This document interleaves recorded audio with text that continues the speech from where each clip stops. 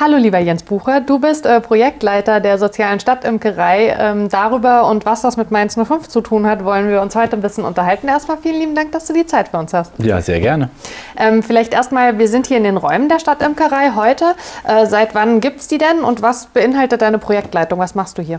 Genau, also die Stadtimkerei ist ein soziales Projekt. Ähm, wir sind eigentlich nur eine Scheinimkerei. Im Herzen machen wir soziale Arbeit. Mhm. Uns gibt es seit 2017 hier in den Räumen und äh, meine Aufgabe ist sozusagen, ähm, das Ding weiterzuentwickeln, ähm, Akteure reinzuholen, also Menschen mit und ohne Beeinträchtigung, die sich hier engagieren. Und du bist selbst auch Imker, ne? Ich bin auch Imker geworden über das Projekt tatsächlich. Vom Haus aus bin ich Heilpädagoge und mache schon sehr lange äh, soziale Projekte. Ihr habt äh, Bienen hier. Ne?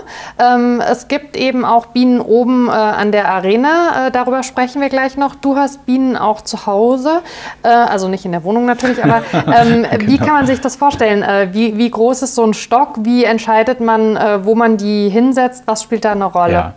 Also generell kann man sagen, Bienen, Honigbienen. Man muss unterscheiden zwischen Honigbienen und Wildbienen. Mhm. Und ähm, wir hier, die, die sprechen meistens von Honigbienen, also Bienen, die in großen Kolonien zusammenleben. Ähm, wenn du so eine Beute ansprichst, eine Beute ähm, wächst, also es ist ein, dyn ein dynamisches mhm. Volk. Der Imker nennt das auch den ähm, Superorganismus der Bienen, also als, einzige, als einzelnes Lebewesen sozusagen. Mhm. Die wachsen jetzt bis Juni so auf 50.000, 60.000 Einzelbienen an. So okay. ein Volk hat ungefähr so eine Größe, wenn es ein gutes, gesundes Volk ist. Ihr steht mittlerweile mit einigen Völkern auch oben an der Arena. Ähm, wie ist denn das mal zustande gekommen? Wer hatte die Idee? Die hatte ich.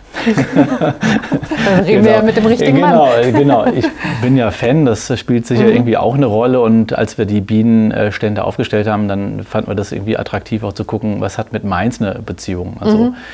Genau, und äh, die Steffi Reuter kannte ich noch von einem anderen Projekt. Mhm. Ähm, und dann habe ich die angerufen, da war der Stefan Bandholz noch dann mit dabei. Und dann haben wir geguckt und dann war das ähm, kein großes Ding. Also das, die haben sofort gesagt, das finden wir eine gute Idee, da machen mhm. wir mit. Dann haben wir geguckt, was ein guter Platz ist. Wir stehen jetzt quasi in Steinwurf von der Arena entfernt. Das ist ein sehr guter Platz für die Bienen und ja, finden das auch toll und macht uns auch stolz, dass wir irgendwie einen Honig produzieren, der irgendwie was mit Mainz 05 auch zu tun hat. Aber die Arena-Bienen stehen da nicht das ganze Jahr, oder? Nein, äh, ein Teil der Völker, die sind gerade im Urlaub im Raps in Mainz-Ebersheim. Das ist ja auch schön, alle anderen können gerade keinen Urlaub machen, ja, aber die Bienen. Total, genau. In Mainz-Ebersheim stehen die in einem Rapsfeld, was nicht gespritzt wurde. Mhm. Und da stehen die jetzt nur ungefähr drei Wochen. Dann ernten wir den Rapshonig, dann kommen die Völker wieder an, ans Stadion, an die Arena und dann äh, gibt es den Mensa Major Honig. Abgesehen von dem Standort, was sind denn eure Berührungspunkte mit dem Verein? Also ähm, Mainz ist ja mehr wie ein Fußballverein, wie wir beide wissen.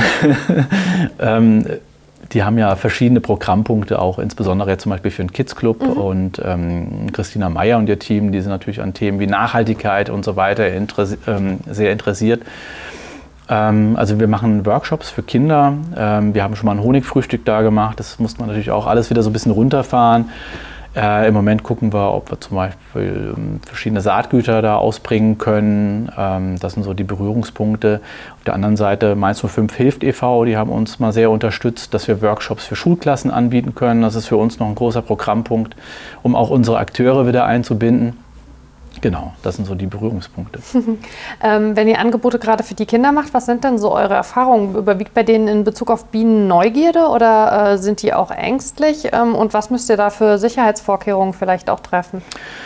Ähm, eher neugierig als ängstlich. Die Kinder werden irgendwie gut eingepackt, wenn wir zu den Bienen gehen. Mhm. Wir haben so Kopfschleier und wenn mein Kind ganz besonders ängstlich ist, dann holen wir auch mal so eine Schwedenjacke, so mhm. heißen die raus. Da, da kann auch nichts durchgehen an Stichen. Ähm, eigentlich sind sie eher aufgeschlossen, finden das ganz spannend, was die Bienen so leisten finden natürlich den Honig ganz spannend. Also ein äh, Workshop, der nennt sich Honigfrühstück für kleine Stadtimker. Mhm. Da können die sich einmal durch die Welt testen. Äh, Honig aus Namibia, aus Australien, aus allen Herren Ländern und das finden die total spannend. Wird es äh, zum Klassenerhalt äh, einen äh, Bonig geben äh, in Anlehnung an Bruce Svensson oder was ist eure nächste Idee da oben? Ich hatte mal, ich hatte mal Brumm Brumm Babats vorgeschlagen, als die ersten Runden so gingen, wie könnte man den Honig nennen, aber vielleicht können wir mal irgendwas mit dem Bo machen. Ich fände es großartig, ja. Sehr schön. Ähm, ich habe natürlich keinen Honig für dich, den hast du ja selber, aber die Gummibärchen in der Wortpiratin Gummibärchentüte. Vielen lieben Dank, dass du die Zeit für mich hattest. Ich reiche sie dir so Corona-konform wie möglich. Ja, vielen Dank. Das war sehr spannend. Die esse ich mit meinem Sohn. Sehr schön.